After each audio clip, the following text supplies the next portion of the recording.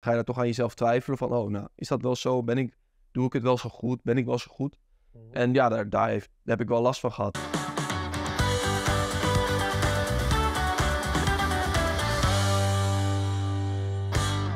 Leuk dat je kijkt naar het derde deel van ons interview met Matthijs de Licht.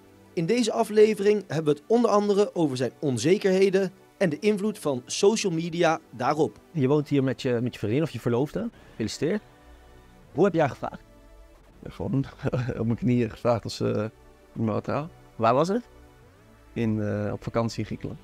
Je vriend uit Barcelona die wordt binnenkort ook nog vader. Is dat ook iets wat voor, uh, voor jou in het verschiet ligt? Ten eerste ben ik super blij voor ze. Het is hartstikke mooi natuurlijk. Hartstikke mooie nieuwe, ja, nieuwe stap in hun leven eigenlijk. Um, maar ja, het is niet iets, een, een doel of zo voor, voor mij of voor ons. Je wil wel kinderen ooit? Ja, ja zeker, zeker.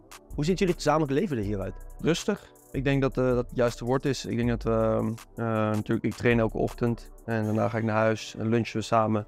Dan zijn we lekker met z'n tweeën, met de honden en uh, doen we leuke dingetjes. een hele mooie natuur hier, dus dan gaan we soms wandelen met de honden of we gaan gewoon thuis een beetje tv kijken of we gaan even naar de stad even wat lunch of zo. Dus ja, gewoon denk ik een heel rustig leven. Maar ik denk dat dat ook wel fijn is, omdat je natuurlijk zo erg onder, onder, onder druk leeft eigenlijk als voetballer en onder vergrootglas. Daardoor ja, is het ook wel eens lekker om even, even rust te hebben. Vind je het lastig dat je zo onder druk ligt? Mm, nou, je, je, wordt er wel beter in naar, naarmate je ouder wordt. Alleen ik denk dat het gewoon belangrijk is om te genieten van het feit dat je voetballer bent. En dan als je geniet en als je happy bent en als je uh, ja, eigenlijk dat, dat gevoel van kind zijn ook op zo'n training kan hebben, dan, dan wordt de druk al gelijk een stuk minder. Maar het is natuurlijk wel een feit dat bij de, de grootste clubs ter wereld is natuurlijk ook de meeste druk. En hoe behoud je dat gevoel van kind zijn? Het is, dat is het moeilijkste denk ik van, van profvoetballers zijn nu natuurlijk ook helemaal met, met de social media. En overal staat een mening over je.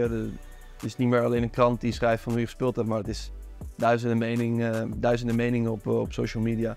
Dus het is, het is soms wel lastig om je daarvoor af te sluiten. En ik denk dat, dat, dat, dat heel veel voetballers daar ook wel last van hebben. En ja, dat is voor mij soms ook lastig. Maar ik probeer gewoon zo, zoveel mogelijk te focussen op het werk wat ik doe. Op mijn, op mijn, mijn ja, constant eigenlijk mijn, mijn, mijn werk doen, uh, te trainen, um, om eigen ontwikkeling te focussen. Heb je daar last van gehad? Dat, dat je op zulke jonge leeftijd al met al die dingen in aanraking kwam? Ja, last, last is een groot woord, maar het is, het is niet makkelijk geweest. Dat is zeker zo. Helemaal als je op zo'n jonge leeftijd natuurlijk, wat je net over had, met Ajax zo iets bijzonders presteert eigenlijk. Om natuurlijk alles wat je doet komt onder van grootgas te staan, waar eerst eigenlijk alles um, nieuw was voor iedereen en goed. Mm uh, mensen zagen misschien ook de dingen die je fout deed, zagen ze niet, ze zagen alleen de goede dingen.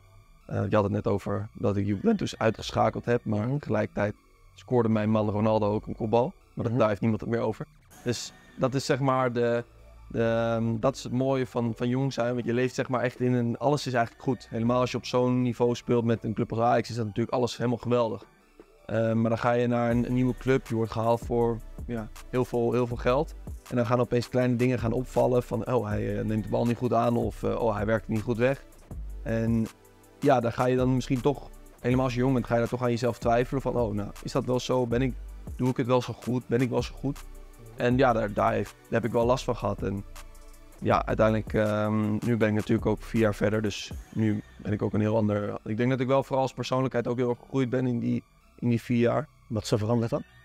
Je wordt gewoon volwassen. Ik bedoel, ik ging naar het buitenland, maar ik, was, ik oogde heel volwassen op het veld.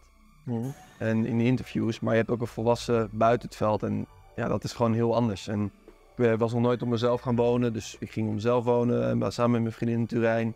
Uh, opeens kon ik eigenlijk niet meer over straat. Wat ook voor mij, als iemand die heel erg uh, op zijn privé gesteld is, best wel moeilijk was. Mm. Dus, um, dus ja, er, er verandert gewoon zoveel voor voor, voor je op zo'n jonge leeftijd. En eigenlijk, ja, op zo'n jonge leeftijd hoort dat eigenlijk niet. En is, ben je misschien zelf daar ook nog niet helemaal klaar voor.